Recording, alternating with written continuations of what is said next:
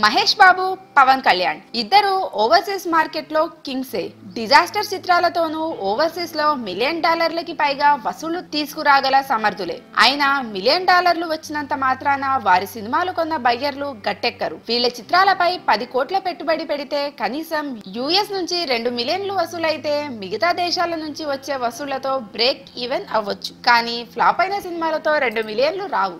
ఎంత క్రేజ్ ఉన్న సినిమా అయినా కానీ ఇరవై కోట్ల పెట్టుబడి పెట్టడానికి పెట్టడానికైతే ఇప్పుడు ఓవర్సీస్ బయర్లు సిద్ధంగా లేరు. ఇరవై కోట్లకి ఒక సినిమా కొంటే యుఎస్లో కనీసం నాలుగు మిలియన్ల వసూళ్ళు రావాలి. బాహుబలి తప్ప ఇంతవరకు మరో సినిమా ఆ ఫీట్ చేయలేదు. దీంతో మహేష్ స్పైడర్కి మురగదాస్ ఉన్నా పవన్ చిత్రానికి త్రివిక్రమ్ ఉన్నా ఓవర్సీస్లో ఇంకా బిజినెస్ క్లోజ్ అవ్వలేదు. నిర్మాతలు అడిగే రేట్లకి కొనడానికి బయ్యర్లు ముందుకు రావడం లేదు. అన్ని కోట్లకి సినిమా కొంటే టాక్ ఏమాత్రం తేడా వచ్చినా రికవర్ చేయడానికి వాళ్ళేమి దేవుళ్ళు కాదుగా అనేది అక్కడ బయ్యర్ల ఆర్గ్యుమెంట్. అయినా ఇరవై కోట్లు పెట్టి హక్కులు తీసుకుంటే మహా అయితే కోటి రెండు కోట్ల లాభాలు చవి చూడవచ్చు. దానికోసం అంత రిస్క్ చేయాల్సిన పని లేదని అంటున్నారట.